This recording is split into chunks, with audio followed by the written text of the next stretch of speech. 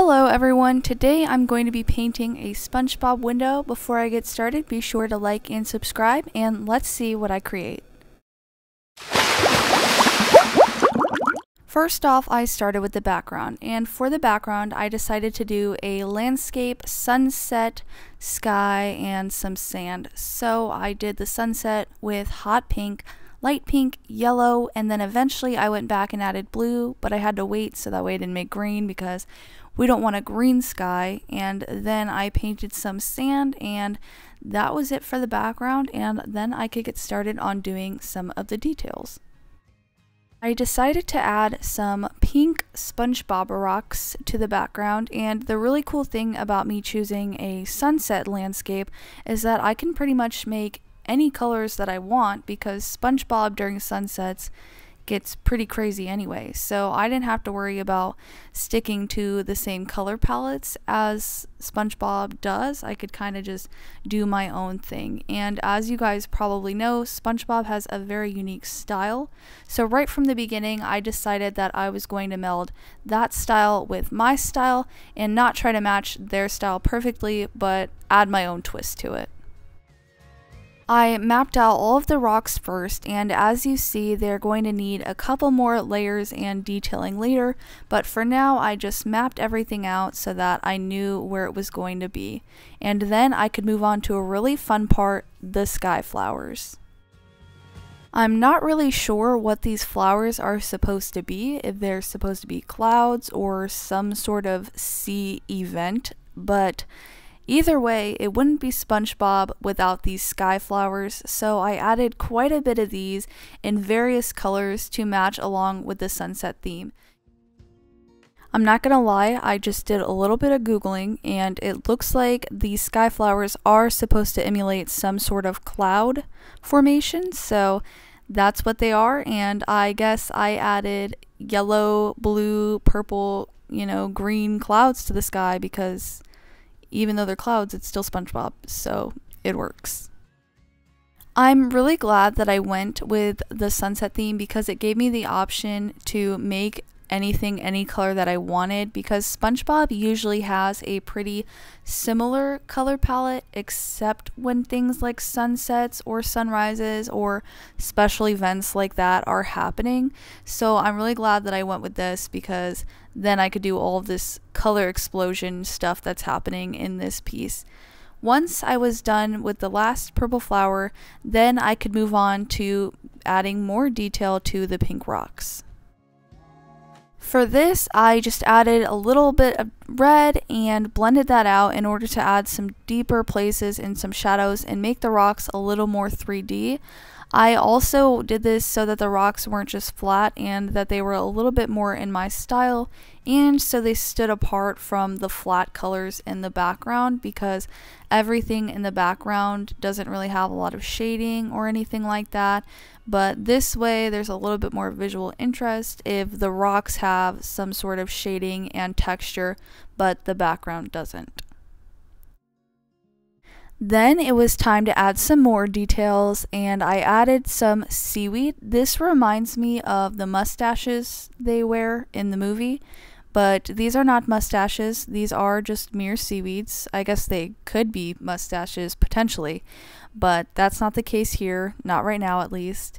And after I added the seaweed, I thought it could use a little more green and I thought as a fun little almost type of Easter egg, it would be really fun to add SpongeBob's horse mystery. So that's what I'm doing right there. I'm adding in the seahorse that he finds I haven't really added much detail to anything yet because this piece is pretty small. That paintbrush that I'm working with is the smallest one that I own and I do not feel very confident trying to do details with that. So I decided instead to later come back in with some markers which you'll see later in the video to add the finer details. So for now I'm just giving the overall picture and then I'll go back in later to finalize everything. Then I did some touch ups on places that needed more building, and I also added those purple flowers that Mystery eats. I thought that would also be a fun little Easter egg because if you've seen that episode, then you know you won't see a mystery the seahorse without those special purple flowers with the red polka dots, so I thought that would be a really fun tie-in. I'll add in the red polka dots though later in the details, so don't worry too much. They will be accurate to the SpongeBob. After I added Mystery's flowers, it still wasn't feeling full enough or colorful enough quite yet. Plus, I didn't add in my favorite, which is the jellyfish. So I decided to add in some pink jellyfish, and again, I'll add more detail later. I accidentally had too much water on my paintbrush, but that's okay because we fixed it and we kept on going. It was nothing we couldn't fix, and it still is okay. So I added the little jellyfish, and then I could finally paint the outside of the window. Although I guess technically it's the inside of the window because we would be looking out of the window to the outside. But anyway, for the outside, no, the inside, we decided, of the window, I decided to paint it this periwinkle type of color so that way it wouldn't be too much color with all the color that's already on the inside of the piece and then I could get started on doing the details with my fine liner.